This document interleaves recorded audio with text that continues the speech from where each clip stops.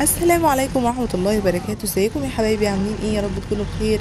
بسم الله والصلاة والسلام على رسول الله سيدنا محمد وعلى آله وصحبه وسلم. النهارده جايين لكم فيديو جديد من قناتكم. يلا بينا نلف الدنيا وهنلف فين النهارده؟ بإذن الله هناخد جولة من سموحة ولحد محطة مصر. يا ريت ما ننساش like وال share والاشتراك في القناة وتفعلوا زر الجرس على الكل عشان يوصلكوا كل جديد واكتبوا تحت في ال comment حبيتوا الفيديو ولا لأ. وإيه أكتر فيديوهات بتحبوها وحابين فيديوهات عن إيه تاني؟ بس كده يلا بينا نبدأ الفيديو بتاعنا.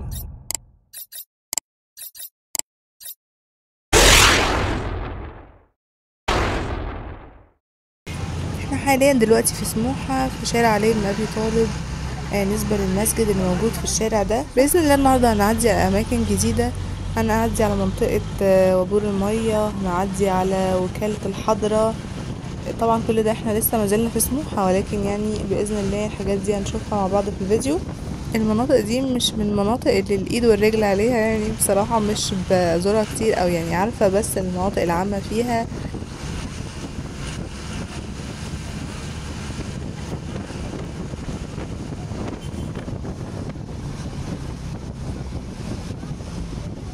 إحنا كده حاليا في عزبة سعد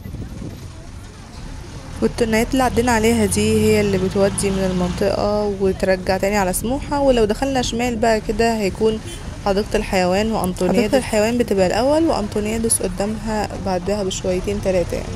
أما بالنسبة للتنايات اللي شفناها فهي يا إما بتروح سيدي جابر يا إما في منها بيروح سموحة يعني في اللي بيروح الاتنين. هنفضل مكملين كده بإذن الله وهنقابل في طريقنا المدينة الجامعية.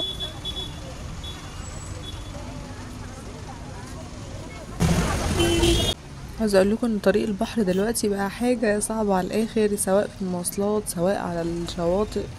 في كل مكان دلوقتي بقى زحمة في اسكندرية يعني خاص بالساحل أو الكورنيش من بره. وسمعنا طبعا الفترة اللي فاتت عن أحداث كتيرة جدا حصلت حاجات في اسكندرية حاجات في مستوى العالم كله. حالات الغرق اللي حصلت في العجمي في الهنوفيل موضوع الزلازل أو الزلزال ده اللي كان من يومين ثلاثة واللي نتج عنه ظهور قارة جديدة زي ما بيقولوا أو جزيرة جديدة. زي ما إحنا شايفين قدامنا كده بسبب انحسار المية. طبعا حاجة زي كده مش هتحصل بسبب يوم ولا اتنين ده هتحصل بسبب ملايين السنين. وصفائح تكتونية بقى وحاجات كبيرة كده في الجيولوجيا. نهاية الكلام المواضيع يعني إن كده شكلها والله أعلم. الدنيا قربت تشطب وتخلص والقيامة قربت تقوم. ده المعهد قدامنا. المعهد العالي للإعلام في الإسكندرية. وطبعا ده يخلينا أكتر إن إحنا نخلي بالنا بقى من تصرفاتنا من عمايلنا دلوقتي في الفترة دي. أي حد محتاج يعمل حاجة كويسة أو خير ما يستناش عشان محدش يعرف بكرة في إيه وهل أصلا الإنسان هيكون موجود بكرة ولا لأ. هو يعمل لآخرته بنفسه ويعمل اللي عليه قدام ربنا ما يستناش مثلا لو حصل حاجة وراه أهل وراه عيلة مثلا هيعملوا مثلا حاجات الصدقة الجارية والكلام ده كله ما يستناش. عملوا يبقى زيادة الخير خيرين وخير وبركة وكل حاجة تمام. ما عملوش يبقى هو عمل اللي عليه برضو. وفي حديث بقى لازم نفتكره كلنا علشان هيهون علينا كتير جدا. لو ركزنا فيه وتعلمنا منه اللي هو قال رسول الله صلى الله عليه وسلم ما يصيب المؤمن من وصب ولا نصب ولا سقم ولا حزن حتى الهم يهمه إلا كفر به من سيئاته. يعني واحد يتخيل كده حتى الشوكة اللي بيتشكاها دي بتكفر عن سيئاته فدي حاجة حلوة. والحديث التاني برضو اللي بيقول قال رسول الله صلى الله عليه وسلم عجبا لأمر المؤمن إن أمره كله خير وليس ذاك لأحد إلا للمؤمن. إن أصابته سراء شكر فكان خيرا له وإن أصابته ضراء صبر فكان خيرا له. يعني ما شاء الله في كلتا الحالتين اللي يركز كده يلاقي إن سواء هو كان في نعمة وكان في حياة حلوة وجميلة فشكر فده خير وثواب وتكفير عن سيئاته. ولو كان في أي أزمات أو أي حاجة وصبر واحتسب عند ربنا وما جزعش و يعني ما قالش كلام مش لازم يقوله فإن شاء الله برضو يكفر عن سيئاته.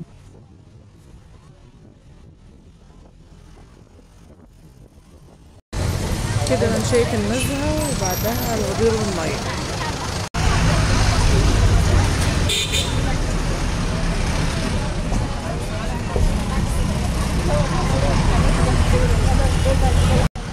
طبعا المنطقة دي غنية عن التعريف الوكالة الوكالة هنا بقى أصل كل حاجة الناس بيجوا هنا من كل مكان علشان يشتروا الحاجات الفاكهة والخضار بالجملة والمزادات والكلام ده كله علشان بقى يعني ربنا يكرمهم ويسترزقوا ويبيعوا ويروحوا مثلا اللي بياخد مثلا يبيع على قمة شارع واللي بياخد يحط في السوق وكده يعني.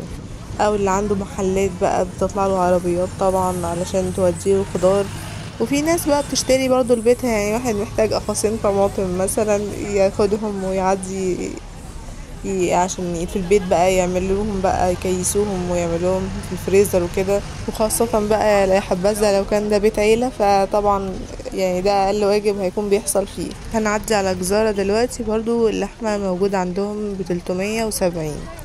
ده طبعا بالنسبة للضاني أما الشمبري فبيكون بتلتمية وعشرين. وفي الفترة دي بقى بالذات على وجه التحديد في الصيف الناس كلها تبص تلاقيها بتشتري تين شوكي وكله بقى عمال يبيع بقى تين شوكي في الشوارع. طبعا الموسم بتاعه دلوقتي فالناس بقى كلها ما بتصدق تاكله وكمان آه، سعره يعني. كويس فالناس بتقدر إن هي تشتريه وتبيعه والكلام من ده. بالنسبة بقى للناس اللي ناوية إن شاء الله تيجي تصيف في اسكندرية إن شاء الله تيجوا تنوروا وإن شاء الله يبقى مصيف سعيد وجميل. من أكتر الأماكن أو الشواطئ اللي ممكن ما تبقاش زحمة قوي يعني وتقدروا إن أنتوا تقعدوا فيها كويس آه، أبو قير أو بحري أو الشاطبي اللي هو الشاطئ الوحيد لشاطئ السلسلة اللي هناك أو بقى العجمي كلها بيطاش وهنوفيل وأبو تلات وكيلو واحد وعشرين وكل الكلام ده كله. آه برضو حلو جدا. بس طبعا العجمي أمواجها بتكون عالية معظم الوقت فاللي رايحين أسرة بعيال وكلام من ده وعاوزين بقى إن هم ينزلوا البحر وكده فيحاولوا ينزلوا في أي حتة تانية في اسكندرية يكون فيها مصدات زي أبو قير أو آه أماكن تانية اللي هو المنظرة والعصافرة بس دول بيكونوا زحمة. ولكن حلوين جدا وخصوصا بقى لو حاجة هتكون آه، مثلا آه، غالية شوية قوات مسلحة أو كده فدي بتكون برضو أهدى وأهدى. مبقاش فيها ناس كتير زي الشواطئ التانية أما بقى لو ناويين تنزلوا العجمي فأنتوا مش فارق معاكم البحر قوي وإن أنتوا هتقعدوا بس وتغيروا جو والمصيف وبتاع وت... تبقوا على الشط كده على الخفيف يعني. طبعا الجو بالليل في اسكندرية بيبقى الحمد لله حلو بيبقى فيه طراوة وبيبقى الدنيا لذيذة. أحلى فترة نزول هي من العصاري كده بعد العصر ولحد العشاء.